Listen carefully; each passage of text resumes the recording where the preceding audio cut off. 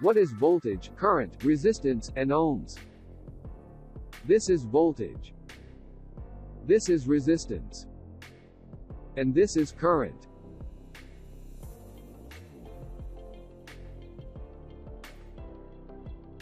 This is full of voltage tank, here water is the voltage.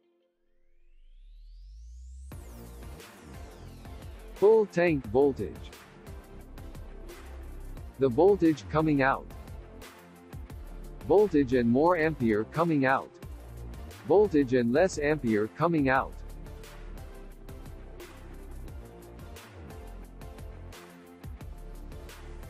Water equals charge pressure equals voltage flow equals current.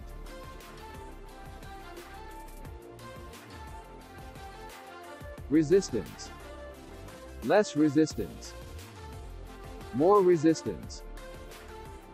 V equals voltage in volts. I equals current in amps. R equals resistance in ohms.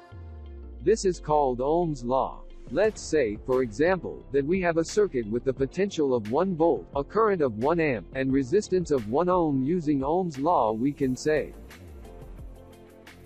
the amount of water in the tank is defined as 1 volt and the narrowness, resistance to flow, of the hose is defined as 1 ohm using Ohm's law. This gives us a flow current of 1 amp.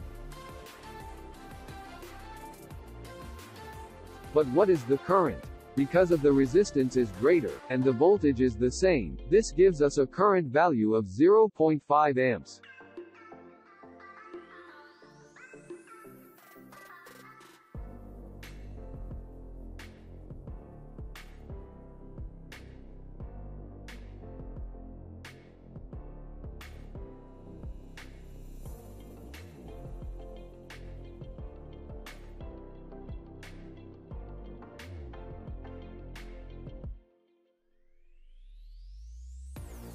What is voltage? Voltage is the pressure from an electrical circuit's power source that pushes charged electrons, current, through a conducting loop, enabling them to do work such as illuminating light. In brief, voltage equals pressure. It is measured in volts, V.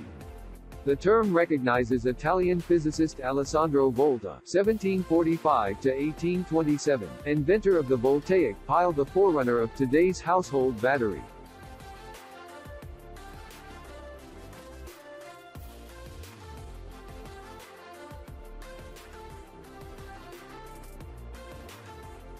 Alessandro Volta, 1745 to 1827.